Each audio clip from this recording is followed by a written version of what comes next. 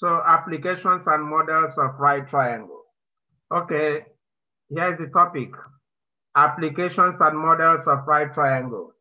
So all along we've been we've been dealing with a right triangle. We've been describing different um, different types of uh, not really types, different ways of analyzing tr right triangle. We have mentioned something like Pythagorean theorem. We have also mentioned something like SOHCAHTOA. And we have mentioned things like Pythagorean identities. So these are ways we can use to analyze and solve um, problems that has to do with right triangle.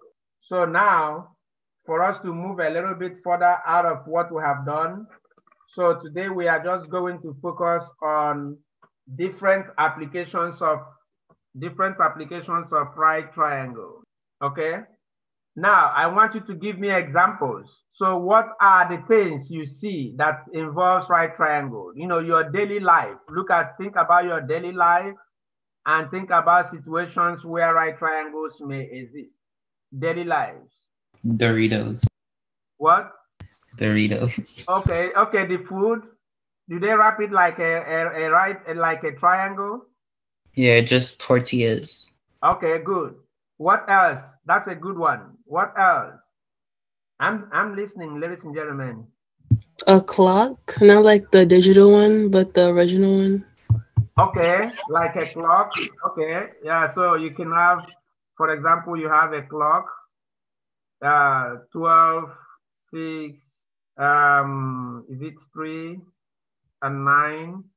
So you can have a right triangle somehow. Okay, what else? How else can you create right triangle? Things that can generate to right triangle.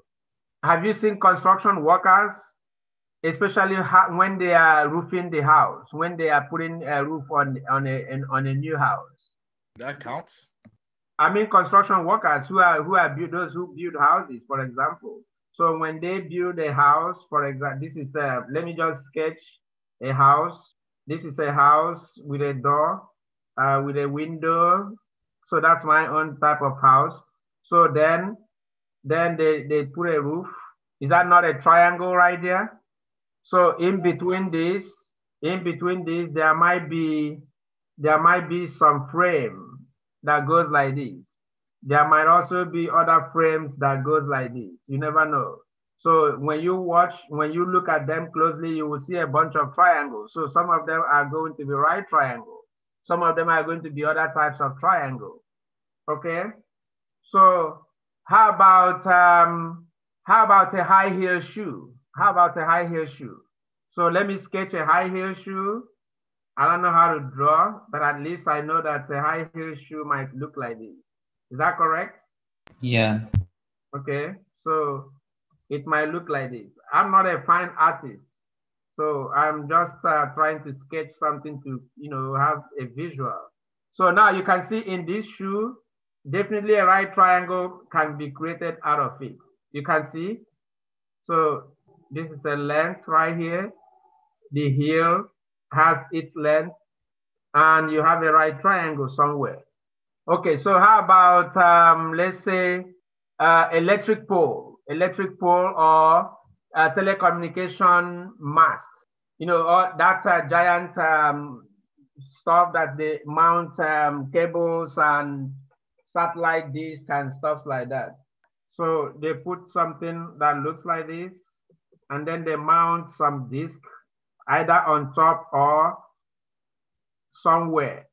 Either they can mount some on top, they can mount it at the body, and uh, they will hold it with uh, various cables. So this is still, you can create a right triangle out of this. So what are other examples? Give me one more example, then we move on. Hello guys, give me, I'm, I'm waiting. Any other thing that can result in right triangle? How about angle of elevation and uh, depression?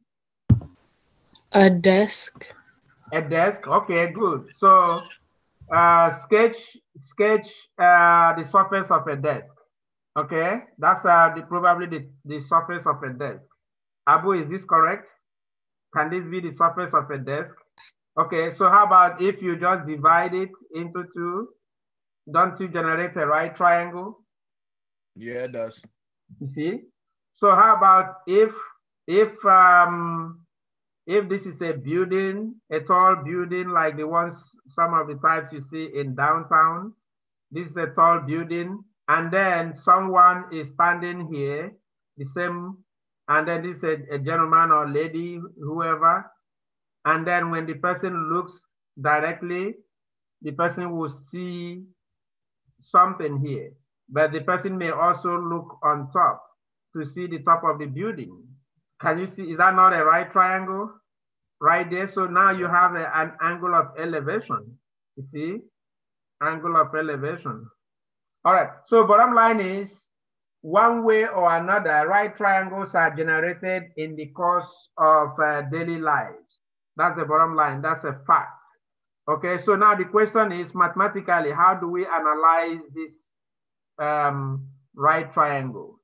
And that's the, the whole objective of uh, today's lesson.